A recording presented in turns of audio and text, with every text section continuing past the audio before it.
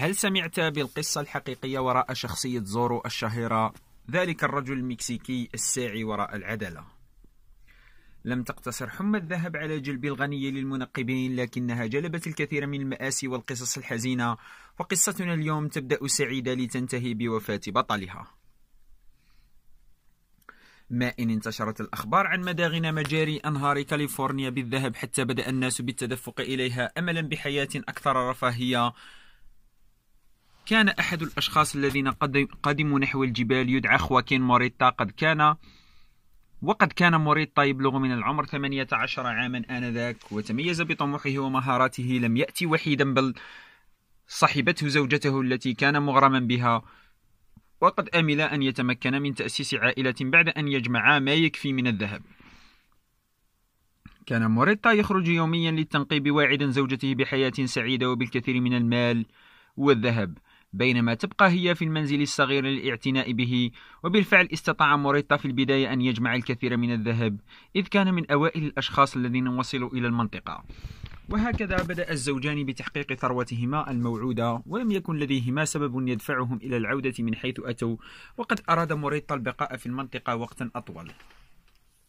حتى يستطيع كمية أكبر من الذهب لضمان مستقبل عائلته. احتفل الزوجان في كل مرة عاد بها موريتا إلى منزلهم محملا بالذهب وحلما بمستقبلهما الذي بدا لهما آنذاك لما عنوا مشرقا إلى أن أتى سنة 1848 اشتعلت الحرب بين الولايات المتحدة الأمريكية والمكسيك بين عامي 1846 و 1848 وقد استطاعت أمريكا الاستحواذ على كاليفورنيا والتي كانت تابعة للمكسيك حتى سنة 1848 وإثر ذلك حدث في إحدى الأيام. أن أتى رجال أعمال أمريكيون إلى منزل موريتا وزوجته مطالبين بالذهب الذي عمل جاهدا على جمعه زاعمين أن هذا الذهب من حقهم لكون المنطقة التي عمل موريتا فيها أصبحت ملكا لهؤلاء الأشخاص. رفض موريتا بالطبع وقاوم الرجال لكنهم ربطوه إلى كرسي وأجبروه على مشاهدة زوجته تضرب ويعتدى عليها. رأى موريتا زوجته تموت أمام عينه نتيجة إصاباتها ولم يكن قادرا على فعل أي شيء لإنقاذها. في النهاية تركه الوحوش حيا. وغادروا معتقدين أنه لن يكون بإمكان شخص بسنه أن يأتي بأي فعل ضدهم.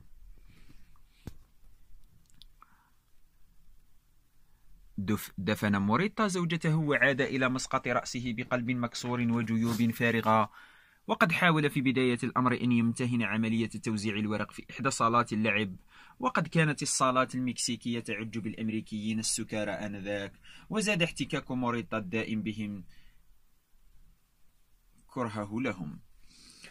لم تكن مآسي موريتا قد انتهت بعد إذ حدث في إحدى أيام أن اشترى أخوه غير الشقيق حصانا وقد طلب موريتا استعارته وذهب به للتجول في المدينة ولكن لسوء حظه فقد أوقفه مجموعة من الرجال الأمريكيين وبدأوا بجلده متهمين إياه بسرقة الحصان. حاول موريتا إخبارهم أنه استعار الحصان وبينما كان تحت الضرب أفلت منه اسم أخيه. وما إن سمع الرجال ذلك حتى ذهبوا بحثا عن الأخ ثم قالوا قاموا بشنقه في ساحة المدينة بالرغم من كونه قد اشترى الحصان بماله. بعد هذه الحادثة أصبح مجموع ما قتله الأمريكيين بالنسبة لموريتا شخصان من أفراد عائلته الجد مقربون منه. كما أنه شاهد الأمريكيين يقومون بمختلف أنواع القمع ضد المكسيكيين يوميا. كانت حادثة أخيه هي الشعرة التي قصمت ظهر البعير بالنسبة لموريتا فتحول من كونه شاب طموح إلى رجل يسعى للانتقام بدون هواذا طعم الانتقام اللذيذ. عثر على أحد الرجال الأمريكيين الذين نفذوا عملية إعدام أخ موريتا بالقرب من مخيم للتنجيم عن الذهب. كانت جثة الرجل مقطعة إلى أجزاء صغيرة وقد ظهرت بعد بضعة أيام فقط من تنفيذ الإعدام. بعد أن عثر الرجال على جثة صديقهم امتطوا أحصنتهم وحاولوا اللحاق بالقاتل وقد استطاعوا رؤية موريتا وتيقنوا من كونه هو من فعل ذلك. لتذك... لتذكرهم أنهم قاموا بجلده قبل عدة أيام بدأوا بإطلاق النار لكنه استطاع تفادي طلقاتهم وانطلق بعيدا يلمح بلمح البصر.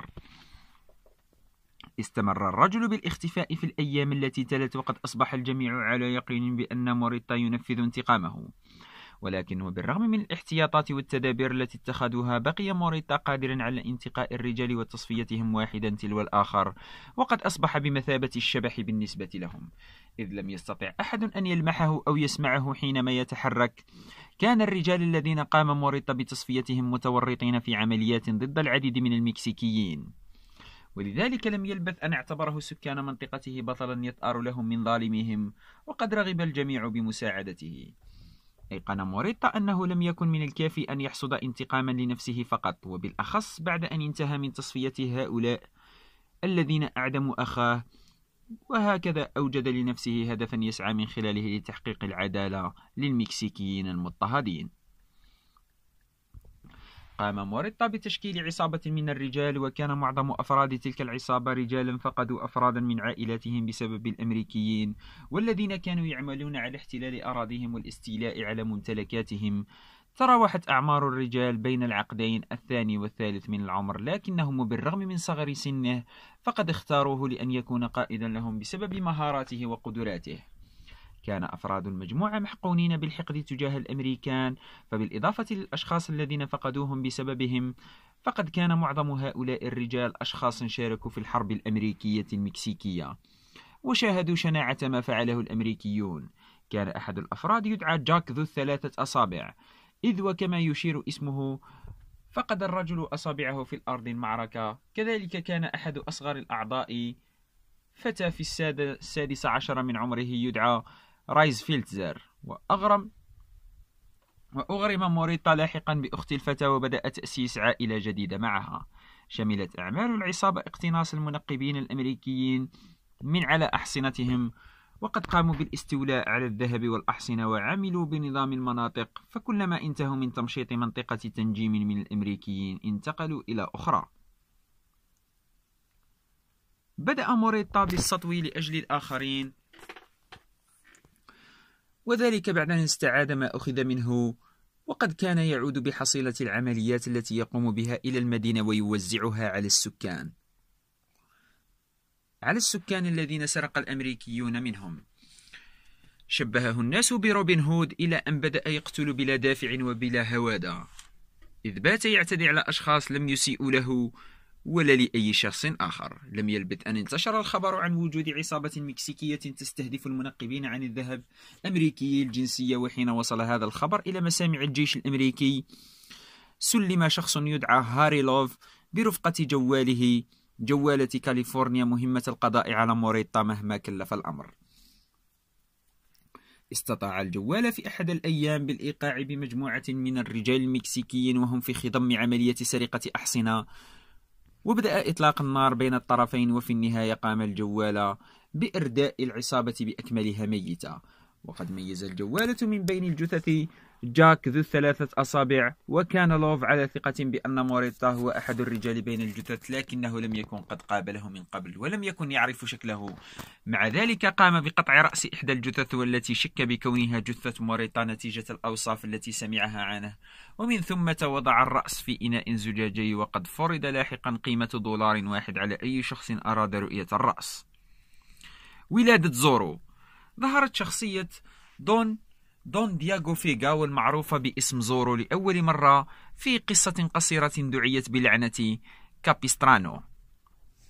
The Curse of Capistrano التي كتبها جون ماكولي في سنة 1919 أنتج لاحقا فيلم عن تلك الشخصية وذلك في سنة 1920 تبع ذلك نشر ماكيلي رواية كاملة تتحدث عن تلك الشخصية وذلك في سنة 1924 كان اسم تلك الرواية قناع زورو The Mask of Zorro.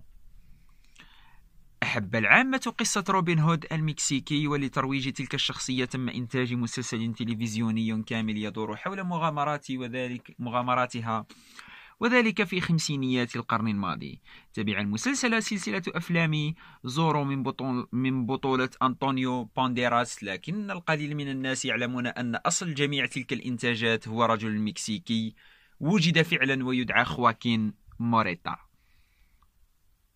امتلك زورو قناعا ليخفيه ولباسا أسود ليساعده على الاندماج في ظلام الليل. وقد كان ذلك منطقيا لكون جميع القصص التي دارت حول موريتا تحدثت عن غموضه وتخفيه وقدرته على التسلل وكما قصة حياة موريتا فقد كان زورو يبحث عن الانتقام لأجل أخيه واستخدم السيف في تحقيق انتقامه بدلا عن المسدس تماما كما فعل موريتا.